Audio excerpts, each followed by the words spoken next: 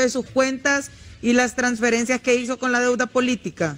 Que siga, no por cierto, en Mira, discordia con la política el día que quiera, el día que quieran los narcotraficantes socios de HSH, yo les hago una exposición de lo que hice con los- ¿Cómo? los No, no, no, no, de- no, no. ¿Cómo? Ingeniero, usted está bien. Ingeniero, usted la verdad es una persona demasiado irrespetuosa.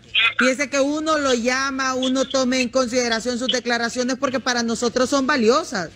O sea, lo calificamos, son no No, y lo hemos que usted, lo que como usted persona. acaba de decir Pero lo va a yo- demostrar en tribunales. Yo sí le digo, ingeniero, que usted tiene que retractarse.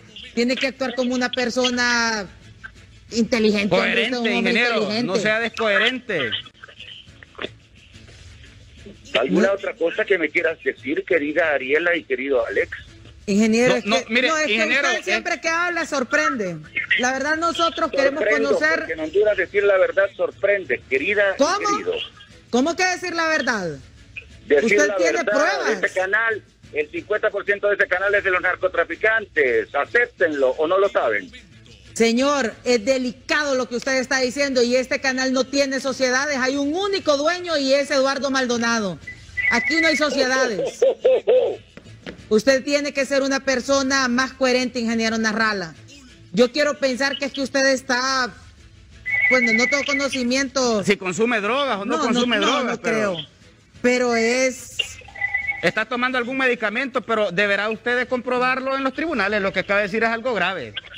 Ok, perfecto. Hagan la demanda. Porque usted, usted es una persona que con las tapas, ingeniero, destruye Qué a todo el mundo.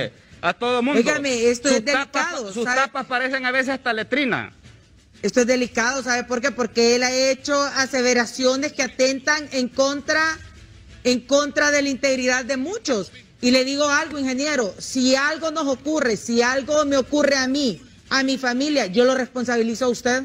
¿Sabe por qué? Porque nosotros como trabajadores, como colaboradores, como empleados de HCH, con sus declaraciones nos pone en riesgo. Nos pone en riesgo. Oíme, Alex. O sea, él habla Y le hablamos aquí para que él dé su quiere. versión de lo que está ocurriendo con las reformas electorales, pero Pareciera realmente- que él cuando no tiene nada útil que decir se pone a... ¿O será que ya la edad lo está poniendo penco, tonto, al No, ingeniero Alex, Salvador no, no, mire,